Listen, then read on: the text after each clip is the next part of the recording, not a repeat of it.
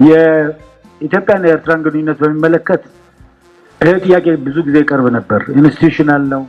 ይህ ሰሜኑ የሀገራችን ክፍል ከተፈጠረው ሁኔታ በፊት ይነሳ ነበር። institutional አልሆነም፣ የመሪዎች ግንኙነት ይመስላል የሚል ነገር አለ።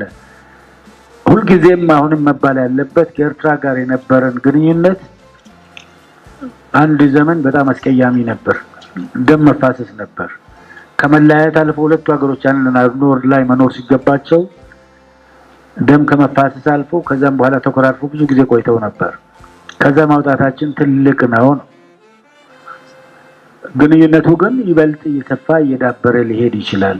እድሉ አለ። እነሱ ያላቸው እኛ የሌለን፣ እኛ ያለን እነሱ የሌላቸው ነገር አለ። በዚያው እያንዳንዱ ኤርትራዊ በአሁኑ ሰዓት ምናልባት ሰው አይጠይቅም እንጂ ቢጠየቅ ከኢትዮጵያ ጋር የተለዩበትን ቀን አያከብሩትም፣ አይወዱትም። ውጭ ያሉት ይናገራሉ። በኢትዮጵያም በኩል ዘሴም ስሜት ነው ያለው፣ ተመሳሳይ ስሜት ነው ያለው። እንኳን ከኤርትራ አይደለም ከተቀሩት የጎረቤት ሀገሮች ጋር አንድ ብንሆን ጥሩ ነው የሚሆነው። ኤርትራ ይቅርና ኤርትራ ጋር እኮ የነበረን ግንኙነት አንድ ህዝብ እኮ ነው፣ አንድ ሀገር ነው።